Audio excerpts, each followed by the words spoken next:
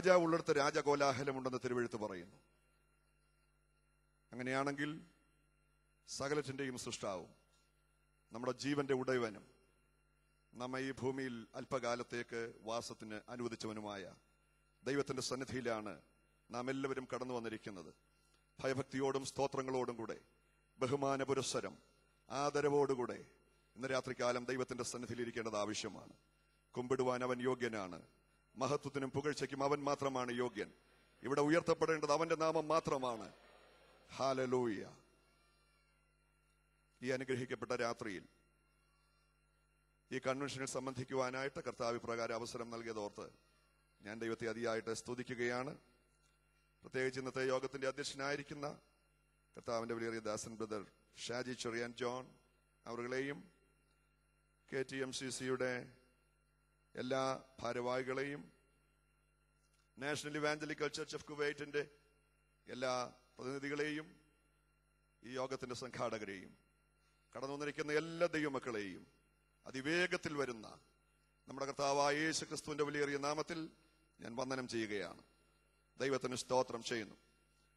ഈ രാജ്യത്തെ ഇപ്രകാരം കടന്നു വരുവാൻ കർത്താവ് സാവകാശം നൽകിയതോർത്ത ദൈവത്തെ സ്തുതിക്കുന്നു. പ്രത്യേകിച്ച് ഇതിനെ ക്രമീകരണം ചെയ്ത കർത്താവിന്റെ വലിയ ദാസൻ പാസ്റ്റർ എം ഇ ബേബിയോടും കുവൈറ്റ് ചർച്ച് ഓഫ് ഗോഡിനോടും ഉള്ളതായിരിക്കുന്ന പ്രത്യേകാൽ നന്ദിയും വന്ദനവും ഞാൻ അറിയിക്കുകയാണ്. കഴിഞ്ഞ ജൂൺ മാസം മുതൽ ഞാൻ അമേരിക്കയിലായിരുന്നു. അവിടെ നിന്നാണ് ഇവിടെയൊക്കെ കടന്നു വരുവാൻ ഇടയായി തീർന്നത്. ഇവിടെ തുടർന്നുള്ള ചില ദിവസങ്ങൾ ഇവിടെയുള്ള ദൈവമക്കളായ നിങ്ങളോടൊപ്പം വിവിധ സ്ഥലങ്ങളിൽ കർത്താവിന്റെ ശുശ്രൂഷയോടുള്ള ബന്ധത്തിലായിരിക്കുവാനായിട്ട് ആഗ്രഹിക്കുന്നു. ദൈവമക്കളുടെ പ്രാർത്ഥന ആദ്യമായിട്ട് ഞാൻ ആഹ്വാനം ചെയ്യുകയാണ്. ഇന്ന് രാത്രിയിൽ ദൈവത്തിന്റെ വചനം നമ്മളെ ശ്രദ്ധിപ്പാനായിട്ട് പോവുകയാണ്. ഇന്ന് രാത്രിയിലെ വചനചിന്തയ്ക്ക് ആധാരമായി രണ്ട് പത്രോസിന്റെ ലേഖനം. മൂന്നാം അധ്യായം മൂന്ന് മുതൽ ഏഴ് വരെയുള്ള വേദഭാഗങ്ങൾ. ദയവായി ഒരാൾക്ക് വായിക്കാം. യാ, വായിച്ചോട്ടെ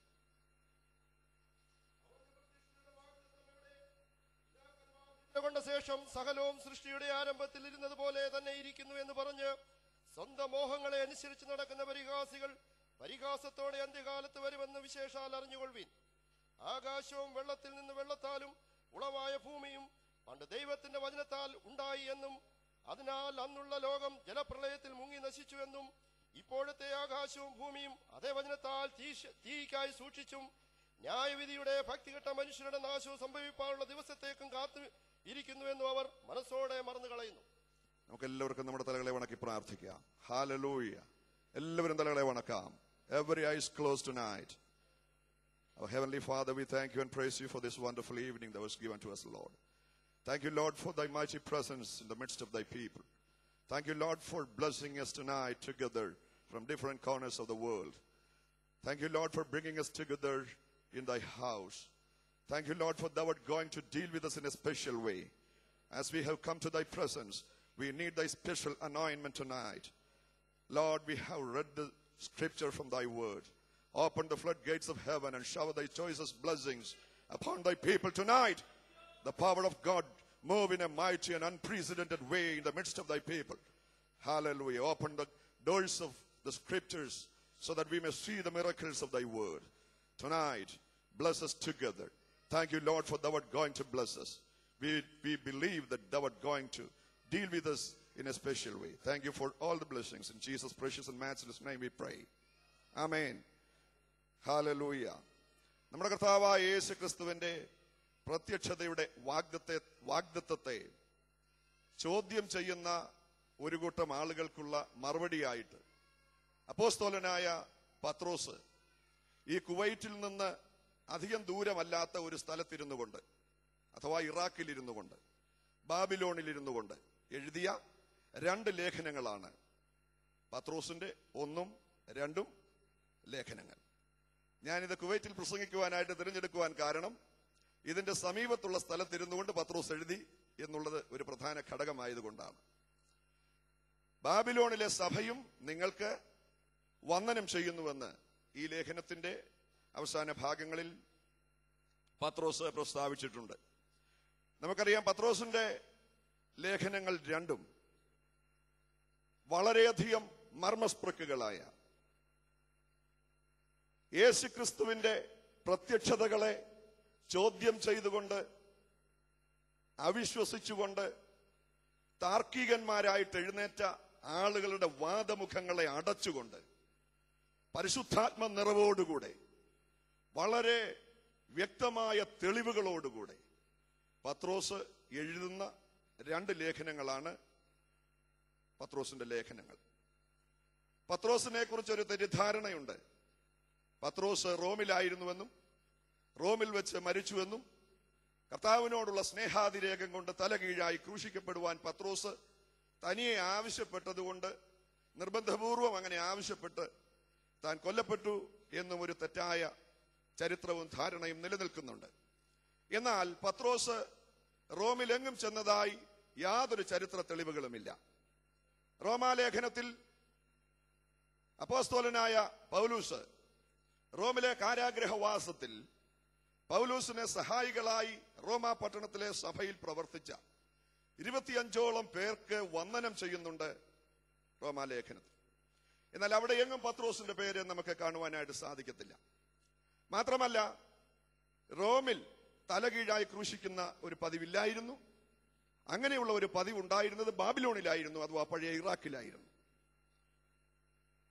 കർത്താവ യേശു ക്രിസ്തുവിനോടുള്ള സ്നേഹം വർദ്ധിച്ചിട്ട് എന്റെ കർത്താവിന്റെ പാദം ചുംബിച്ചുകൊണ്ട് എനിക്ക് മരിക്കണം എന്ന് പത്രോസ് ആവശ്യപ്പെട്ടു തലകീഴായി ക്രൂശിച്ചു ക്രൂശിക്കവൻ ആവശ്യപ്പെട്ടു എന്ന് ചിന്തിക്കുന്നവരോട് മലങ്കരയിലെ ഏറ്റവും പ്രസിദ്ധനായ വേദപണ്ഡിതൻ മഹാകവി കെ വി സൈമൺ സാർ ഇങ്ങനെ ഒരു മറുചോദ്യം ചോദിച്ചിട്ടുണ്ട്.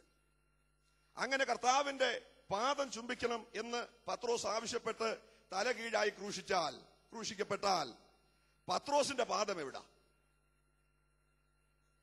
ഒരിക്കലും പത്രോസ് നിർബന്ധപൂർവം അത് ആവശ്യപ്പെട്ടിരിക്കുവാൻ ന്യായമില്ല എന്നാൽ ചരിത്രം പഠിക്കുമ്പോൾ ബാബിലോണിൽ അഥവാ ഇറാഖിൽ പഴയ കാലത്ത് അപ്രകാരമുള്ള കിഴക്കൻ രാജ്യങ്ങളിൽ അപ്രകാരമുള്ള വളരെ നീചമായ ക്രൂശീകരണ ക്രൂശീകരണവും ശിക്ഷാവിധികളും ഒക്കെ നടപ്പിലാക്കിയിരുന്നു എന്ന് കാണുവാനായിട്ട് ചരിത്രത്തിൽ സാധിക്കും.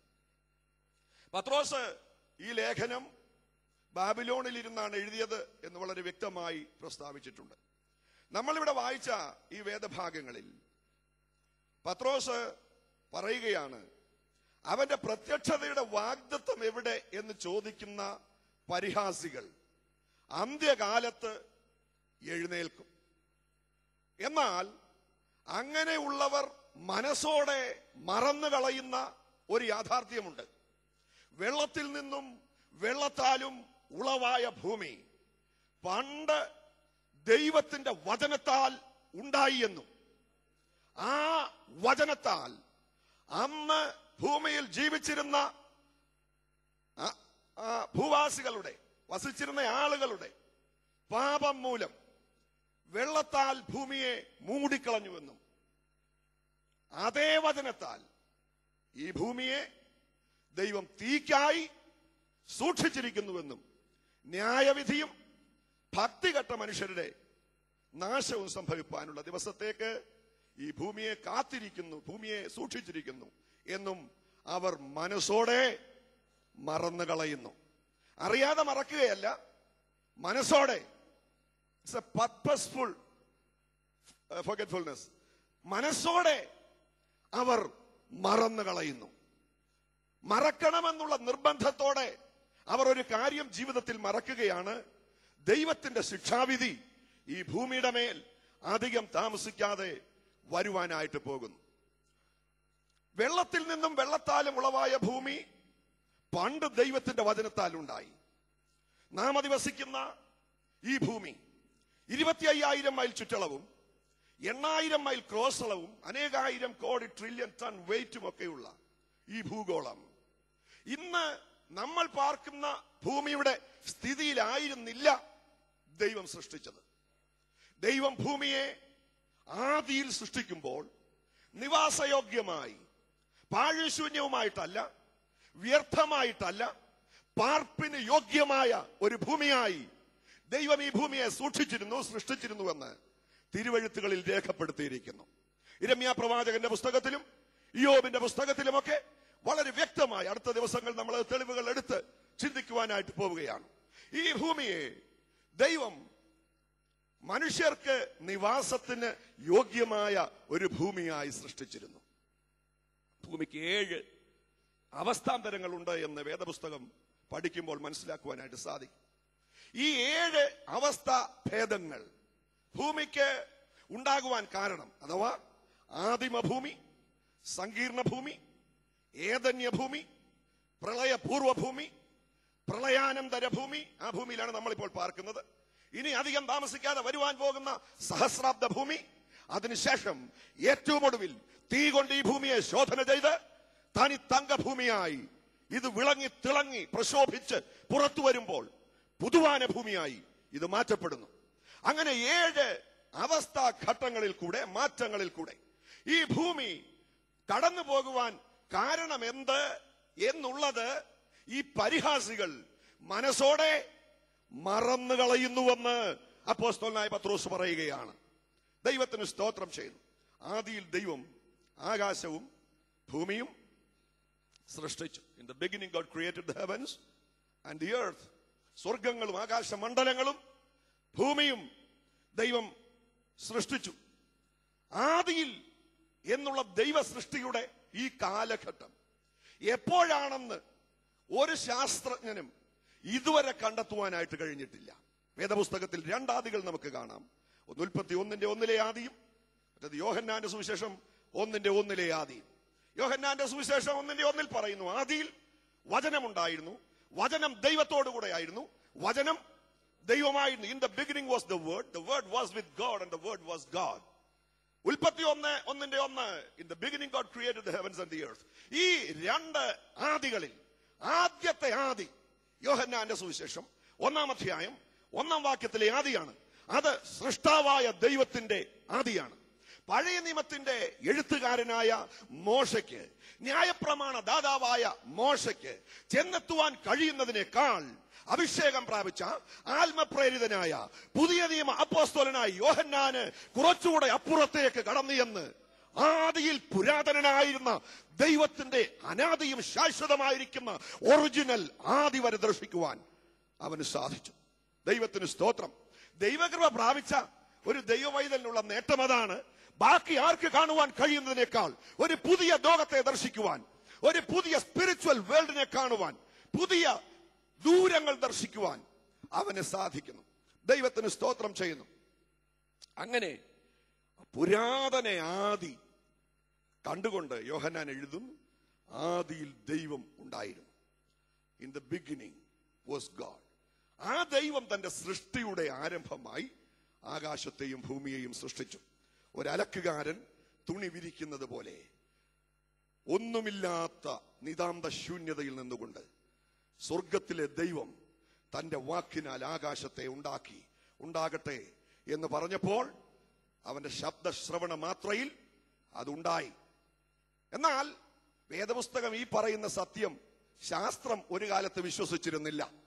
എന്നാൽ ഇരുപതാം നൂറ്റാണ്ടിലെ ഏറ്റവും വലിയ ശാസ്ത്രജ്ഞനായ ആൽബർട്ട് ഐൻസ്റ്റീൻ അദ്ദേഹത്തിന്റെ പ്രസിദ്ധമായ ഇ സ്ക്വയർഡ് എന്ന് പറയുന്ന ഫോർമുല അറ്റോമിക് എനർജി വരെ കണ്ടെത്തുന്നതിന് സഹായകരമായിരിക്കുന്ന ആ ഫോർമുല ഈ എനർജി ഇ എന്ന് പറഞ്ഞാൽ energy energy is equal to mass into velocity squared എന്ന് പറയുന്ന ആ ഫോർമുലയിൽ നിന്ന് അഥവാ എനർജി ഉണ്ടെങ്കിൽ ശക്തി ഉണ്ടെങ്കിൽ മാസിനെ ഉണ്ടാക്കാം പിണ്ടത്തെ ഉണ്ടാക്കാം വസ്തുക്കളെ ഉണ്ടാക്കാം. ശാസ്ത്രം ഇത് കണ്ടുപിടിക്കുന്നതിന് മുൻപ് ശക്തി കൊണ്ട് വസ്തുക്കളെ സൃഷ്ടിക്കുവാൻ കഴിയുമെന്ന് സ്വർഗത്തിലെ ദൈവം തന്റെ ശക്തിയുള്ള വചനത്താൽ ഇല്ലായ്മയിൽ നിന്ന് സകലത്തെയും വിളിച്ചു വരുത്തി. Praise Lord let there be life ആ, വ- വെളിച്ചമുണ്ടാകട്ടെ. ദൈവം അത് പറഞ്ഞതേ ഉള്ളൂ. അവന്റെ വായിൽ നിന്ന് ആ വാക്ക് പുറപ്പെട്ടത് വെളിച്ചമായിട്ടാണ്. ആകാശം ഉണ്ടാകട്ടെ എന്ന് പറഞ്ഞു. നാം കാണുന്ന അനന്ത കോടി മൈലുകൾ വിസ്തീർണമുള്ള അളക്കുവാൻ കഴിയാത്ത ഈ ആകാശം. പ്രപഞ്ചത്തിന്റെ വിസ്തൃതി എത്രയെന്ന് ശാസ്ത്രത്തിന് പോലും ഇതുവരെ കണ്ടെത്താൻ കഴിഞ്ഞിട്ടില്ല. ട്രോപ്പോസ്ഫിയർ സ്ട്രാറ്റോസ്ഫിയർ അയനോസ്ഫിയർ മിസോസ്ഫിയർ ഇങ്ങനെയൊക്കെയുള്ള തട്ടുകൾ വരെ മാത്രമേ ശാസ്ത്രത്തിന് എത്തുവാനായിട്ട് കഴിഞ്ഞിട്ടുള്ളൂ. രണ്ടാമത്തെ തട്ടായ സ്ട്രാറ്റോസ്ഫിയറിന്റെ ഉപമണ്ഡലമായിരിക്കുന്ന ഓസോൺ ലെയർ. സാധാരണ ഓക്സിജനിൽ രണ്ട് മോളിക്യൂൾസ് മാത്രമുള്ളപ്പോൾ ഓസോണിൽ മൂന്ന് മോളിക്യൂൾസ് ഉണ്ട്. അതുകൊണ്ടാണ് അതിനെ ഓസോൺ എന്ന് പറയുന്നത്. ഈ ഓസോൺ എന്ന് പറയുന്ന തട്ട് നമ്മൾ പുതയ്ക്കുന്ന പുതപ്പിന്റെ ഘനമേ ഉള്ളൂ. ഒരു ഇഞ്ചിന്റെ എട്ടിലൊന്ന് ഘനമേ ഉള്ളൂ ഓസോൺ എന്ന് പറയുന്ന ഈ ലെയർ. സൂര്യനിൽ നിന്ന് പുറപ്പെടുന്ന അൾട്രാ വയലറ്റ് രശ്മികൾ നമ്മുടെ ശരീരത്തിൽ നേരിട്ട് പതിക്കാതിരിപ്പാൻ സ്വർഗത്തിലെ ദൈവം ആകാശത്തിൽ വിരിച്ച പന്തലാണിത്. പ്രൈസ് അലോഡ് ഞാനും നിങ്ങളും സുഖമായും സന്തോഷമായി ഇരിക്കണം എന്നുള്ള ദൈവത്തിന്റെ ആഗ്രഹം കൊണ്ട് എന്റെ പ്രിയനെ നീ സുഖമായും ശുഭമായും ഇരിക്കണമെന്ന് ഞാൻ ആഗ്രഹിക്കുന്ന. യോഹന്നാൻ പറയുന്നു നാം സന്തോഷത്തോടെ ഈ ഭൂമിയിൽ വസിക്കണം എന്നുള്ള ആഗ്രഹത്തോടെ സ്വർഗത്തിലെ ദൈവം ആകാശത്തിൽ വിരിച്ച ഈ തട്ട് ഇന്ന് മനുഷ്യന്റെ പ്രവർത്തികൾ മൂലം മനുഷ്യനിർമ്മിതമായ അന്തരീക്ഷ മലിനീകരണം മൂലം അവിടെ ഇവിടെയും എല്ലാം ദ്വാരങ്ങൾ ഉണ്ടായി ആർക്കും സ്റ്റിച്ച് ചെയ്ത് ചേർക്കാൻ കഴിയാത്തതുപോലെ കിഴിഞ്ഞു പോയിരിക്കുക. ഗ്ലോബൽ വാർമിംഗ് ഇന്ന് ആധുനിക ലോകം അഭിമുഖിക്കുന്ന ഏറ്റവും വലിയ പ്രശ്നമാണ്. അന്റാർട്ടിക് റീജിയനിലുള്ള ഹിമമലകൾ അതിവേഗത്തിൽ ഉരുകിക്കൊണ്ടിരിക്കുന്നു. മെഡിറ്ററേനിയൻ സമുദ്രവും അതുപോലെ തന്നെ അതുവഴി അറ്റ്ലാന്റിക് സമുദ്രവും പസഫിക് സമുദ്രവും. ലോകത്തിലെ വൻ സമുദ്രങ്ങളെല്ലാം അതിവേഗത്തിൽ വെള്ളത്തിന്റെ തോത് ഉയർന്നിട്ട് ഇന്ന് കാണുന്ന പല ഭൂപ്രദേശങ്ങളും അധികം താമസിക്കാതെ ഹിമാപ്ലവത്തിലേക്ക് പോകുവാൻ പോകുന്നുവെന്ന് ശാസ്ത്രം വളരെ വളരെ സൂക്ഷ്മതയോടെ ഭയ ഭയാശങ്കകളോടെ അതിനെക്കുറിച്ച് പഠനം നടത്തിക്കൊണ്ടിരിക്കുന്നു. ദൈവത്തിന് സ്തോത്രം ചെയ്യുന്നു. നമുക്കറിയാം ദൈവമക്കൾക്കറിയാം അതിനൊന്നുമുള്ള സമയം കിട്ടത്തില്ല. അതിനു മുൻപ് കർത്താവ് മടങ്ങി വരികയും തന്റെ സഭയെ ചേർക്കുകയും ചെയ്തനന്തരം ദൈവിക പദ്ധതികൾക്ക് മാറ്റമുണ്ടാവും. യേശു ക്രിസ്തുവിന്റെ മടങ്ങി വരവിനോട് കൂടെ ആകാശത്തിന്റെ തട്ടുകൾ മാറുമെന്ന് ദൈവത്തിന്റെ വചനം പറയുന്നു. ആറാമത്തെ ദൂതൻ കാഹളം ഊതുമ്പോൾ വെളിപ്പാട് പുസ്തകത്തിൽ പറയുന്നു ആറാമത്തെ ദൂതൻ കാഹളം ഊതുമ്പോൾ ഭൂമിയിലെ സകല മലകളും പർവതങ്ങളും സ്വസ്ഥാനത്ത് നിളകിപ്പോയി. സമുദ്രം പല ഭാഗത്തു നിന്നും മാറിപ്പോയി. ആകാശം ചുരുൾ പോലെ ഒരു പുസ്തക ചുരുൾ പോലെ മാറിപ്പോയി. സ്തോത്രം. ഇതൊക്കെ സംഭവിക്കുന്നത് കർത്താവായ യേശു ക്രിസ്തു സഭയെ ചേർത്ത് കഴിഞ്ഞ് ഏഴു വർഷം മധ്യാകാശത്തിൽ പാർക്കുന്ന ഘട്ടത്തിൽ ഈ ഭൂമിയിൽ നടക്കുന്ന അന്തിക്രൈസ്തവ പീഡയിൽ ഏഴ് കാഹളങ്ങൾ ഊതുന്ന ദൂതന്മാർ ഊതുന്നതിൽ ആറാമത്തെ കാഹളം ഊതുമ്പോൾ നടക്കുന്ന കാര്യമാണ്. അത് കഴിഞ്ഞ് ഒരു പുതിയ ആകാശം വിധാനമുണ്ടാവും. ആ വിധാനത്തിന് കീഴിലാണ് ആയിരം ആണ്ട് വാഴ്ച നടക്കാൻ പോകുന്നത്. പുതിയ ആകാശവും പുതിയ ഭൂമിയും പിന്നാലെ വരുന്നതേ ഉള്ളൂ.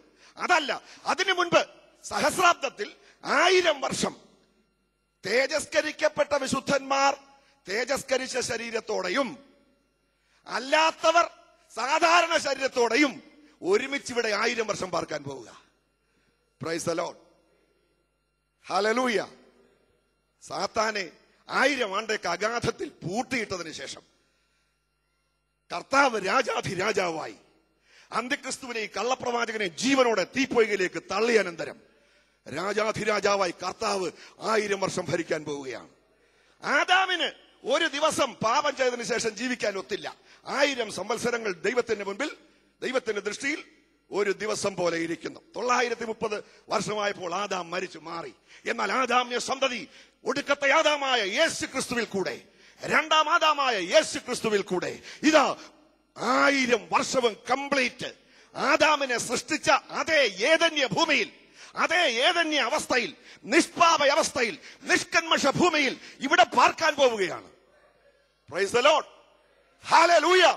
യേശു ക്രിസ്തുവിന്റെ മടങ്ങി വരവിന്റെ വാഗ്ദത്തം എവിടെ എന്ന് ചോദിക്കുന്ന പരിഹാസികളോട് അപ്പോസ്തലനായ പത്രോസ് പറയുകയാണ് മുൻകാലങ്ങളിൽ ഈ ഭൂമിക്ക് സംഭവിച്ചിട്ടുള്ള വ്യതിയാനങ്ങളെ കുറിച്ച് നിങ്ങൾക്ക് വല്ലതും അറിയാമോ?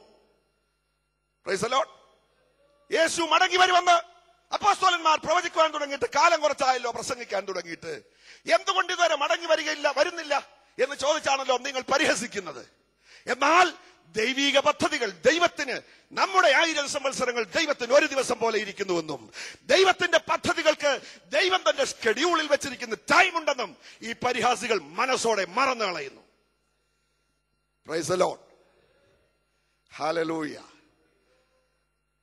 ദൈവം ഈ ഭൂമിയെ സൃഷ്ടിക്കുന്നതിന് മുൻപ് ദൈവത്തിന്റെ മനോമണ്ഡലത്തിൽ ഈ ഭൂതലത്തിന്റെ തനി തനി മോഡൽ ഇതിന്റെ തനി റെപ്ലിക്ക ദൈവത്തിന്റെ മനോമണ്ഡലത്തിൽ ഉണ്ടായിരുന്നു സ്തോത്രം. സദൃശവാക്യം എട്ടാം അധ്യായം ഇരുപത്തിരണ്ട് മുതലുള്ള വാക്യങ്ങൾ നമ്മൾ വായിക്കുമ്പോൾ അവിടെ ഇങ്ങനെ എഴുതിയിരിക്കുന്നു. പിതാവായ ദൈവം ഈ ഭൂമിക്ക് അടിസ്ഥാനമിടുമ്പോൾ പുത്രനായ ക്രിസ്തു പറയുകയാണ് അവൻ ഭൂമിക്ക് അടിസ്ഥാനമിട്ടപ്പോൾ ഞാൻ അവന്റെ അടുക്കൽ ശില്പിയായിരുന്നു. എന്റെ പ്രമോദം മനുഷ്യപുത്രന്മാരോട് കൂടെയായിരുന്നു. അവന്റെ ഭൂതലത്തിൽ ഞാൻ വിനോദിച്ചുകൊണ്ടിരുന്നു. ഈ ഭൂതലം ഏതാ? ഈ ഭൂമിക്ക് വൃത്തം വരയ്ക്കുന്നതേ ഉള്ളൂ. ഈ ഭൂമിയെ ഉറപ്പിക്കുന്നതേ ഉള്ളൂ. ഈ ഭൂമിയെ സ്ഥാപിക്കുന്നതേ ഉള്ളൂ. അപ്പോൾ അതിനു മുൻപ് ഒരു ഭൂതലമോ? ആദാം സൃഷ്ടിക്കപ്പെടുന്നതിന് മുൻപ് ഒരു മനുഷ്യപുത്രനോ പ്രൈസലോട്ട്. നാം തന്റെ സന്നിധിയിൽ വിശുദ്ധരും നിഷ്കളങ്കരുമാകേണ്ടതിന് ലോകസ്ഥാപനത്തിന് മുൻപേ യുഗസ്ഥാപനത്തിന് മുൻപേ ഈ ഭൂമി ആരംഭിക്കുന്നതിന് മുൻപ് ആകാശത്തെ വിരിക്കുന്നതിന് മുൻപ് ദൈവത്തിന്റെ മനോനിർണയത്തിൽ അവൻ കണ്ടിരുന്ന വ്യക്തികളാണ് നമ്മൾ. സ്തോത്രം. അല്ലാതെ ആയിരത്തി തൊള്ളായിരത്തി നാൽപ്പത്തി ആറിൽ ഇവിടോട്ട് ജനിച്ച് രണ്ടായിരത്തി പത്തിൽ ചാകാൻ പോകുന്ന കുറച്ച് കൃമികളല്ല. ഹാലൂയ നാം തന്റെ സന്നിധിയിൽ വിശുദ്ധരും നിഷ്കളങ്കരുമാകേണ്ടതിന് ലോകസ്ഥാപനത്തിന് മുൻപേ പ്രൈസ് ലോഡ് ഇവിടെ ഇരിക്കുന്ന ദൈവമക്കളെ ഇവിടെ ഇരിക്കുന്ന വീടെടുപ്പ് പ്രാപിച്ച ദൈവ പൈതലി ഹാലലൂയ അടുത്ത ഒരു പത്ത് വർഷത്തിനുള്ളിൽ ഇവിടെ ഇരിക്കുന്നതിൽ എത്ര പേർ ഈ ഭൂമിയിൽ കാണും? അടുത്ത ഒരു ഇരുപത്തിയഞ്ച് വർഷത്തിനുള്ളിൽ എത്ര പേർ ഈ ഭൂമിയിൽ നിന്ന് മാറ്റപ്പെടും? എവിടേക്കാണ് നമ്മൾ പോകുന്നത്? എവിടെ നിന്നാണ് നമ്മൾ വന്നത്? അല്പകാലം മാത്രം ഇവിടെ ജീവിച്ച് ഇവിടെ മരിച്ച് ഇവിടെ അടക്കപ്പെട്ട് തീരുന്നതാണോ നമ്മുടെ ജീവിതം? അല്ല പുരാതന നിത്യതയിൽ. സകലവും സൃഷ്ടിക്കുന്നതിന് മുൻപ് അവൻ നമ്മെ പേർ ചൊല്ലി വിളിച്ചിരുന്നു. അവൻ നമ്മെ ഓമന പേർ ചൊല്ലി വിളിച്ചിരുന്നു. അവൻ നമ്മെ യേശു ക്രിസ്തുവിൽ ദത്തെടുക്കേണ്ടതിന് തനിക്ക് പ്രിയനായവനിൽ സൗജന്യമായി നൽകിയ കൃപാമഹത്വത്തിന്റെ പുകഴ്ചയ്ക്കായി സ്നേഹത്തിൽ നമ്മെ മുൻനിയമിക്കുകയും ചെയ്തുവല്ലോ. അവൻ മുൻനിയമിച്ചവരെ വിളിച്ചും വിളിച്ചവരെ നീതീകരിച്ചും നീതീകരിച്ചവരെ തേജസ്കരിച്ചും ഇരിക്കുന്നു. ഇത് സംബന്ധിച്ച് നാം എന്ത് പറയേണ്ടു? ദൈവം നമുക്ക് അനുകൂലമെങ്കിൽ പ്രതികൂലമാർ സ്വന്തം പുത്രനെ ആദരിക്കാതെ നമുക്കെല്ലാവർക്കും വേണ്ടി ഏൽപ്പിച്ച് തന്നവൻ അവനോട് കൂടെ സകലവും നമുക്ക് നൽകാതിരിക്കുമോ? Hallelujah. We are not ordinary people. We are not ordinary creatures സാധാരണ വ്യക്തികളല്ല നമ്മൾ. പൂർവകാല നിത്യതയിൽ ഉണ്ടായിരുന്നവരാണ്. പ്രൈസ് ദ ലോർഡ് യോബിന്റെ പുസ്തകം മുപ്പത്തിയെട്ടിന്റെ ഇരുപത്തിരണ്ട് ഇരുപത്തിയൊന്ന് ഇരുപത്തിരണ്ട് വാക്യങ്ങൾ വായിക്കുമ്പോൾ ഹോവയായ ദൈവം ചുഴലിക്കാറ്റിന്മേൽ ഇറങ്ങി യോബ് ദൈവത്തിന്റെ നീതിക്കെതിരെ വിരൽ ചൂണ്ടിയപ്പോൾ യോബിനോട് പറയുന്നു ഞാൻ ചെയ്തത് അനീതിയാണെന്ന് നിനക്ക് എപ്പോഴെങ്കിലും തോന്നിയിട്ടുണ്ടോ? നീ എന്റെ നീതിയെ ചോദ്യം ചെയ്തല്ലോ. ദൈവം എന്തുകൊണ്ട് എന്നോട് ഈ അനീതി ചെയ്തെന്ന് നീ പല പ്രാവശ്യം പറഞ്ഞല്ലോ. ഞാൻ നിന്നോട് ചോദിക്കുന്നു നിനക്ക് ഉത്തരം പറയാമോ? നിന്റെ അരമുറുക്കിക്കൊള്ളുക ഞാൻ ഈ ഭൂമിക്ക് അടിസ്ഥാനമിട്ടപ്പോൾ നീ എവിടെയായിരുന്നു? ഗർഭത്തിൽ നിന്ന് പോലെ സമുദ്രം ചാടി പുറപ്പെട്ടപ്പോൾ നീ എവിടെയായിരുന്നു? ഞാനതിന് കഥക് വെച്ച് അടച്ചപ്പോൾ നീ എവിടെയായിരുന്നു? ഹാലെ ലൂയ നിനക്ക് വിവേകമുണ്ടെങ്കിൽ പറയ. നീ അമ്മയെ ജനിച്ചിരുന്നല്ലോ. നിനക്ക് ആയുസൊട്ടും കുറവല്ലല്ലോ. പ്രൈസ് ലോഡ് ഹലലൂയ നാം അന്നേ ഉണ്ടായിരുന്നു. നാം അന്നേ ഉണ്ടായിരുന്നു. എത്ര പേർക്ക് ഇത് ഗ്രഹിക്കാൻ കഴിഞ്ഞിട്ടുണ്ട്? പ്രൈസലോട്ട് നാം അന്നേ ഉണ്ടായിരുന്നു. ഇവിടെ യാദൃച്ഛികമായി വന്നുപെട്ടവരല്ല നമ്മൾ. ഹാലലൂയ ഇവിടുത്തെ പലതിനെയും കണ്ട് ഇവിടെ പട്ടുപോകേണ്ടവരല്ല നമ്മൾ. ഉണ്മാനും ഉടുപ്പാനും ഉണ്ടെങ്കിൽ മതി. നമുക്കൊരുക്കിയിരിക്കുന്ന രാജ്യം വേറെയാണ്. നമ്മുടെ വീട് വേറെയാണ്. പ്രൈസലോ നമ്മൾ ഇവിടെ പ്രവാസികളാണ്. കുവൈറ്റിലുള്ള ആളുകളോട് ചോദിച്ചാൽ അവർ പറയും ഞങ്ങൾ ഇവിടെ പ്രവാസികളാണ്. പ്രവാസികളാണ്. പ്രവാസികളാണ്. പരദേശവാസികളാണ്. യാക്കോബിനോട് മിസ്രൈമിൽ വെച്ച് ഫറവോൻ ചോദിച്ചു വയസ്സ് എത്രയായി. സാധാരണ ആരും വയസ്സ് ചോദിച്ചാൽ പറയില്ല. യാക്കോബ് എന്തോ പറഞ്ഞു? എന്റെ പരദേശവാസം നൂറ്റി മുപ്പത് സംവത്സരമായി. എന്റെ പിതാക്കന്മാരുടെ പരദേശവാസത്തോളം ഞാൻ ഇതുവരെ എത്തിയിട്ടില്ല. പ്രൈസ് ലോഡ് അപ്പോസ്തലനായ പൗലോസ് പറഞ്ഞു വിട്ടുപിരിഞ്ഞ് ക്രിസ്തുവിൽ നിന്ന് ഞാൻ അകന്നിരിക്കുന്നിടത്തോളം ഞാൻ പരദേശിയായിട്ട് പാർക്കുന്നു. ഞാൻ പ്രവാസിയായിട്ട് പാർക്കുന്നു. ഈ ശരീരത്തിൽ നമ്മൾ ഇരിക്കുമ്പോൾ നമ്മൾ പരദേശികളാണ്. നമ്മുടെ സ്വർഗീയ ശരീരം പ്രാപിക്കുമ്പോഴാണ് നമ്മൾ സ്വദേശികളാകുന്നത്. പ്രൈസ് ലോഡ് നമ്മുടെ ദേശം ഇവിടെയല്ല. ഹാലലൂയ ഈ ശരീരമല്ല നമ്മുടെ ശരീരം. ഇത് ഇന്ന് രാത്രിയിൽ ഒരുപക്ഷേ ഈ ശരീരത്തിൽ നിന്ന് പ്രാണൻ പോകാം. ഇന്ന് യോഗം കഴിഞ്ഞ് വീട്ടിൽ സുഖമായി പോയി കിടന്നുറങ്ങാമെന്ന് വിചാരിക്കുന്നല്ലോ. നാളെ പ്രഭാതത്തിൽ ഒരുപക്ഷെ ഈ ശരീരം വെറും ഒരു മൺകവറായി മാറാം. കൂടാരമായി ഭൗമഭവനം ഭൗമഭവനം അഴിഞ്ഞുപോയാൽ കൈപ്പണിയല്ലാത്ത ഒരു ഭവനം കൈപ്പണിയല്ലാത്ത ഒരു ശരീരം കർത്താവ് നമുക്ക് വേണ്ടി ഒരുക്കുന്നു. പ്രൈസലോഡ് ആ ശരീരത്തിന് പാർക്കുവാനുള്ള ഒരു വീടും കർത്താവ് ഒരുക്കുന്നു. ആ വീടും ഇപ്പോഴെങ്ങും ഒരുക്കം തുടങ്ങിയതല്ല. ലോകസ്ഥാപനത്തിന് മുൻപേ നമ്മളെ ക്രിസ്തുവേശുവിൽ മുൻകണ്ട അന്ന് തന്നെ ഒരുക്കം തുടങ്ങിയത് ആ വീടിന്റെ. നമ്മളെ ക്രിസ്തുവേശുവിൽ കണ്ട അന്ന് തന്നെ നമ്മുടെ പാപങ്ങൾ പോക്കുവാൻ ലോകസ്ഥാപനം മുതൽ കുരളറുക്കപ്പെട്ട കുഞ്ഞാടിനെയും അന്നേ മാറ്റി നിർത്തിയതാ. ഇതൊന്നും യാദൃച്ഛികമായി സംഭവിച്ചതല്ല. Everything was preplan by God it is the predestination it the the mysterious predestination of the സഭയുടെ മുൻ നിർണയം. ഹാലലൂയ സകലത്തിനും ലാക്കും സകലത്തിനും കാരണഭൂതനുമായവൻ അനേകം സഹോദരന്മാരെ തേജസ്സിലേക്ക് നടത്തുമ്പോൾ അവരുടെ രക്ഷാനായകനെ കഷ്ടാനുഭവങ്ങളാൽ തികഞ്ഞവനാക്കുന്നത് യുക്തമായിരുന്നു. പ്രൈസ് ലോഡ് നമുക്ക് പുത്രത്വം നൽകുവാൻ സകലത്തിനും ലാക്കും സകലത്തിനും കാരണഭൂതനുമായവൻ ഇബ്രാഹിലേഖനം തുടങ്ങുന്നത് തന്നെ ദൈവം പണ്ട് ഭാഗം ഭാഗമായും വിവിധമായും പ്രവാചകന്മാർ മുഖാന്തരം അരുളി ചെയ്തിട്ട് ഈ കാലത്ത് തന്റെ പുത്രൻ മുഖാന്തരം നമ്മോട് അറിയിച്ചിരിക്കുന്നു. അവൻ അവന്റെ തേജസിന്റെ പ്രഭയും തത്വത്തിന്റെ മുദ്രയും സകലത്തെയും തന്റെ ശക്തിയുള്ള ഭുജത്തിൽ വഹിക്കുന്നവനുമാകുന്നു. അങ്ങനെ അവൻ സകലത്തിന്റെയും സകല സകല കാര്യങ്ങളുടെയും കാരണഭൂതനായിരിക്കുന്നവൻ ആദി കാരണനായിരിക്കുന്നവൻ സകലത്തിനും ലാക്കും. സകലത്തിനും കാരണഭൂതനുമായവൻ. അനേകം സഹോദരന്മാരെ തേജസ്സിലേക്ക് നടത്തുമ്പോൾ തേജസ് നഷ്ടപ്പെട്ട അഥവാ ദൈവത്തിന്റെ മനോമണ്ഡലത്തിൽ ദൈവം ഉദ്ദേശിച്ച ഭൂമി ആ ഭൂമിയിൽ തേജസ്സുള്ള മനുഷ്യർ ഇങ്ങനെ ജരയും നരയും ഒക്കെ പിടിച്ച് ചുരുണ്ടുകൂടി അവിടെ ഇവിടെയൊക്കെ ഇരുന്ന് വഴക്കുമുണ്ടാക്കി ഒക്കെ പോകുന്ന കുറച്ച് ആളുകളെ അല്ല ദൈവത്തിന്റെ സങ്കല്പത്തിലുള്ളത്. ദൈവം പ്ലാൻ ചെയ്തത് അങ്ങനെയല്ല. ഹാലലൂയ മരണമില്ലാത്ത മനുഷ്യർ. ഒരിക്കലും മരണമില്ലാതെ. ആദം ഹൗവമാരെ ദൈവം അനുഗ്രഹിച്ചു.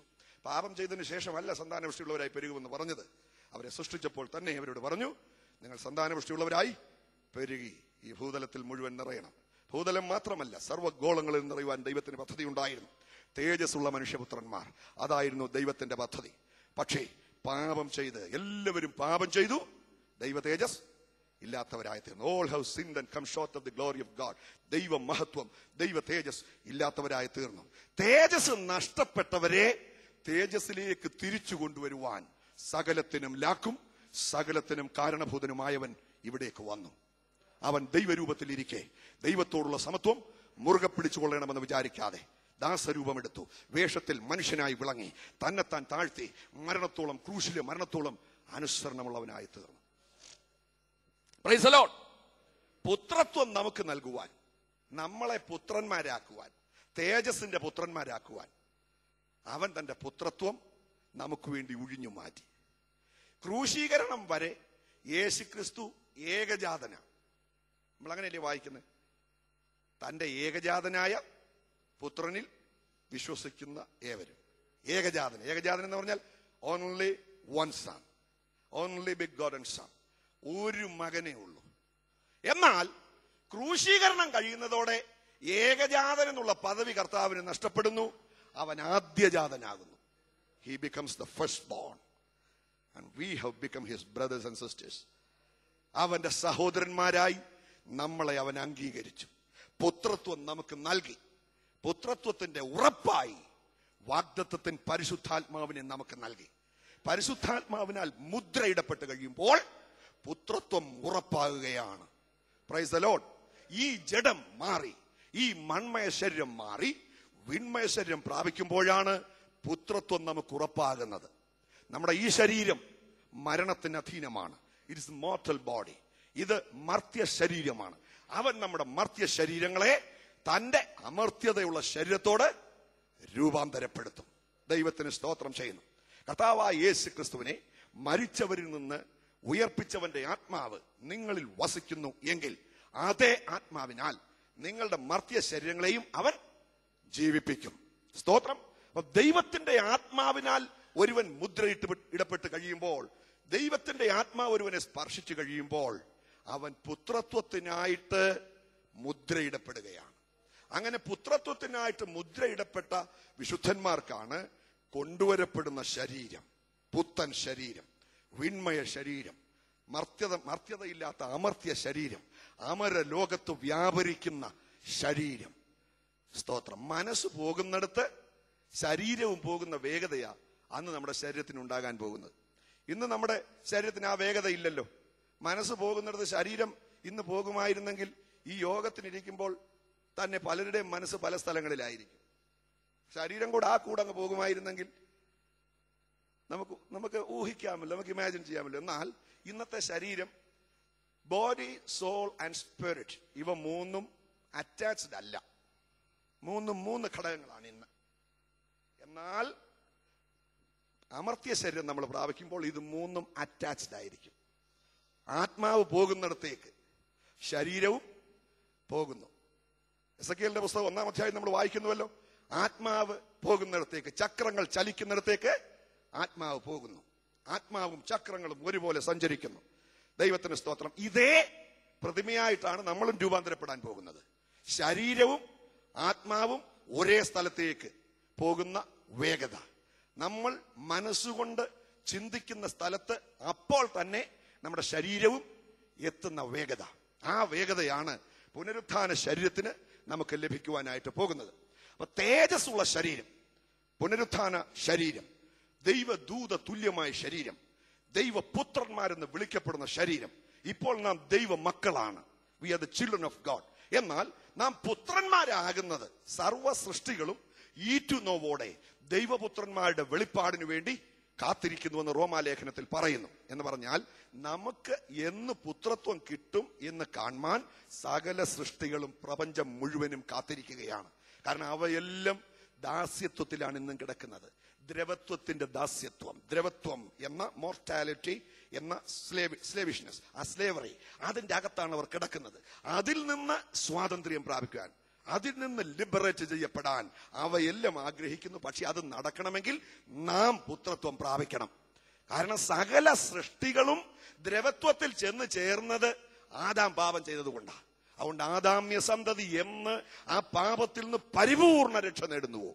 ഇപ്പോൾ ആത്മാവ് ആത്മാവിനെ പ്രാപിച്ചിരിക്കുന്ന ആത്മാവ് എന്ന ആദ്യദാനം പ്രാപിച്ചിരിക്കുന്ന നാം നമ്മുടെ ശരീരത്തിന്റെ പൂർണപുത്രത്വമാകുന്ന വീണ്ടെടുപ്പിനായിട്ട് ഉള്ളിൽ ഞരങ്ങിക്കൊണ്ട് കാത്തിരിക്കുന്നു. ആത്മാവെന്ന ആദ്യ ദാനം പ്രാപിച്ചിരിക്കുന്ന നാം ദൈവത്തിന് നമുക്ക് നൽകുവാൻ കഴിയുന്ന ആദ്യത്തെ ദാനമാണ് ദൈവത്തിന്റെ ആത്മാവ്. ദൈവത്തിന് സ്തോത്രം ചെയ്യുന്നു. അത് ആ ദൈവാത്മാവ് സകല വ്യക്തികളിലും പരിവർത്തിച്ചു കൊണ്ടിരിക്കുന്നു. പക്ഷേ ദൈവത്തിന്റെ ആലോചനയെ ആ ആത്മാവിന്റെ ആലോചനയെ അംഗീകരിക്കുന്നവർ പലപ്പോഴും വിരളമാണെന്നേ ഉള്ളൂ.